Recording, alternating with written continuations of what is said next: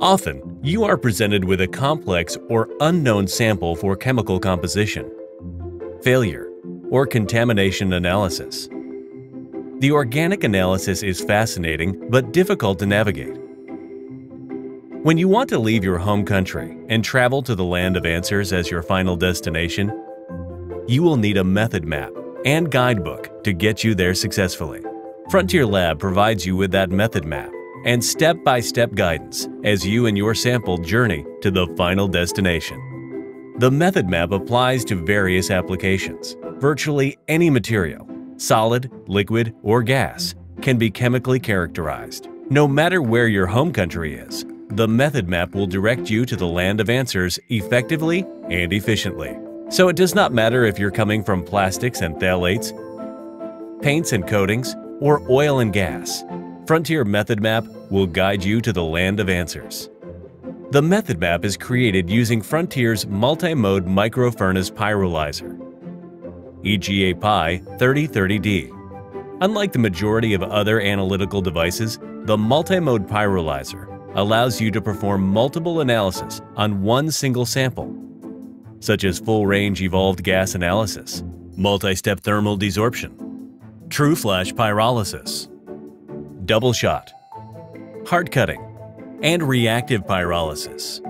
The microfurnace can be used for both isothermal and temperature program analysis. The multimode pyrolyzer also expands the application of gas chromatography instrumentations. It enables the analysis of the entire range of organic materials, including insoluble solids, as is without solvent, solvent extractions, or pretreatments.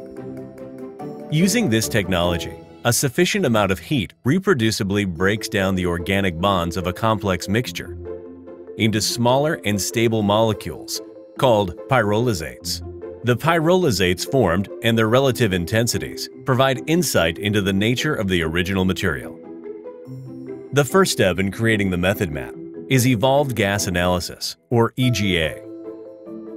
A full-range EGA is performed using the microfurnace technology to obtain the thermal profile of a sample for light compounds, volatiles, and additives, as well as oligomers, heavy, polar, and polymeric compounds. The EGA experiments can be done from 40 degrees Celsius to over 1000 degrees Celsius and correlate results to well-established thermal gravimetric analysis techniques throughout the entire temperature range of the experiment. This capability is critical for the evaluation of unknown samples. To perform EGA, a short and deactivated tube connects the GC injection port to the gas chromatography detector. The sample is dropped into the multi-mode pyrolyzer's furnace, which is set at a relatively low temperature. The furnace is then controllably ramped to a much higher temperature. Compounds evolve continuously from the sample as the temperature increases and directly transferred to the detector. A plot of detector response versus furnace temperature is then obtained. You have just completed your first step on your journey to the land of answers. So, EGA guides you on what to do next. It will show if thermal desorption, heart cutting, or flash pyrolysis is needed, or if a combination of the techniques is required. The next video shows flash pyrolysis and what sets Frontier microfurnace technology apart from other pyrolysis devices.